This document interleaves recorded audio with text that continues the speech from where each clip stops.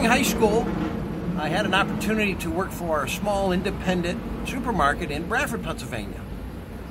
And uh, I worked cleaning floors in the deli and bakery. That was my start. Uh, it was enjoyment uh, in high school, uh, interacting with customers and, and, and people in general. And I really, really got a high off of that.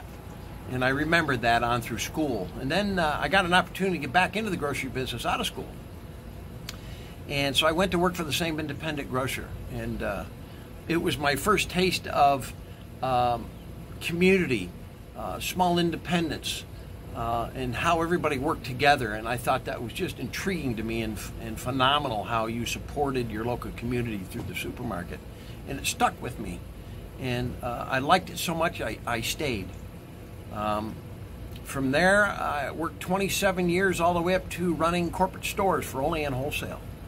Uh, and then I got an opportunity to um, a phone call from the CEO to come into the wholesale side of it as a buyer. So I did that for a number of years. 16 years later, vice president, member development, um, working with all the independents in the, in the, New York, Pennsylvania, and Ohio region uh, was just gratifying.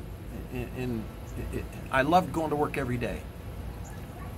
Fast forward till today, back in January, January 11th, by the way, I got an opportunity to buy my own supermarket. And I couldn't have been more thrilled. The good Lord put me here for a reason.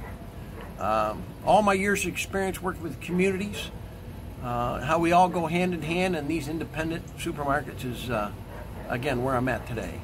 And uh, I love every minute of it. I love the people.